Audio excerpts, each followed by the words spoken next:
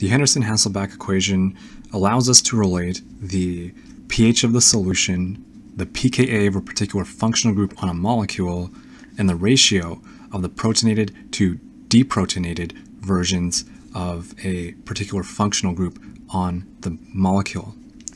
And the Henderson-Hasselbalch equation is that so we have the pH of our solution is equivalent to the pKa of the functional group of interest plus the log base 10 of the ratio of the number of deprotonated uh, forms of that functional group to the protonated forms of that functional group. And to give an example of how we can apply this in practice, uh, we'll examine glutamic acid. And glutamic acid, as we'll recall, is an amino acid, and its R group is gamma uh, carboxylic acid, as I remember it. So if we examine the alpha carbon here, we will have the um, carboxylic acid port, part here, uh, the proton on the alpha carbon, as well as the N-terminal amine. Sorry. And we will have the alpha carbon, the beta carbon, the gamma carbon, and the uh, carboxylic acid. And I will draw that out like so.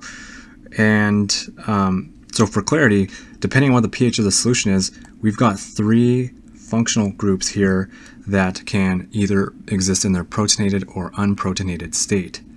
And so at a pH of 7.2, which is your blood's pH, uh, we would expect this these two functional groups to be in their deprotonated state because they're acids and they would donate their protons to the solution. And then this amine is a base and it would take in a proton from your solution and have a positive charge.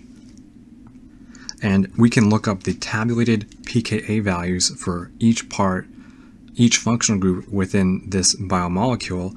And if we do that, you would see that the C-terminal uh, carboxylic acid has a pKa of 2.2. The um, R group's pKa has a value of 4.3.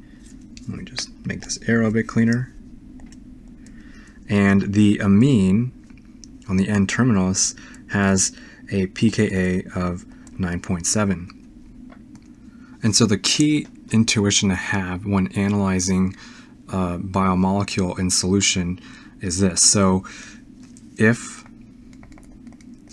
pH of the solution is less than the pKa of the functional group, then the functional group gets the proton.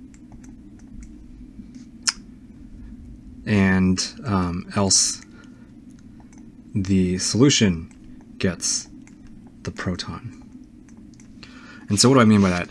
So in this glutamic acid, there are three boundaries that we are interested in. So we'll have uh, when the pH of solution reaches a value of 2.2, when it reaches a value of um, 4.3, and when it reaches a value of 9.7. And so we will have four regions of interest here that we can consider.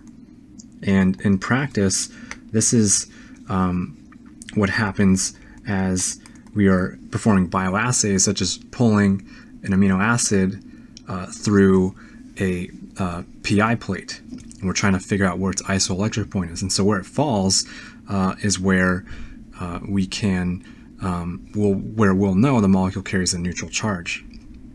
And so when, so the four regions we were interested in is when the pH solution is between 0 and 2.2, 2.2 and 4.3, 4.3 and 9.7, and 9.7 uh, and up to 14.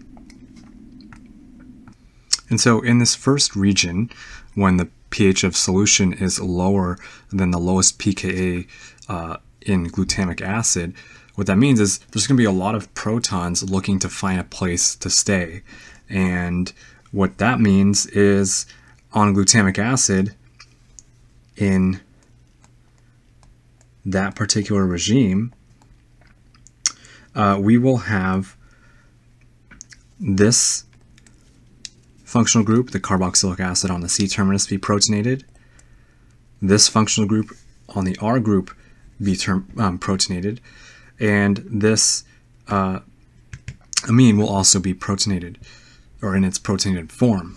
Consequently, we will get a charge of 0 plus 0 plus 1. So the overall charge of this molecule will be 1 when, uh, sorry, when the pH of our solution is between 0 and 2.2.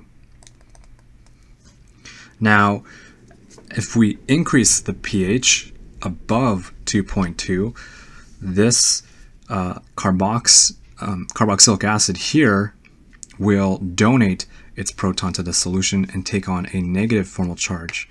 And so this would lose its proton, take on a negative charge, and um, this carboxylic acid on the R group would remain protonated, contributing a zero charge, and therefore the charge of your molecule at a pH 2.2 will be equal to zero. So this would be the isoelectric point of glutamic acid. Now, if we continue to raise the pH of our solution, our solution is going to want protons more and more as we raise the pH. Uh, this uh, carboxylic acid will then donate its proton to the solution.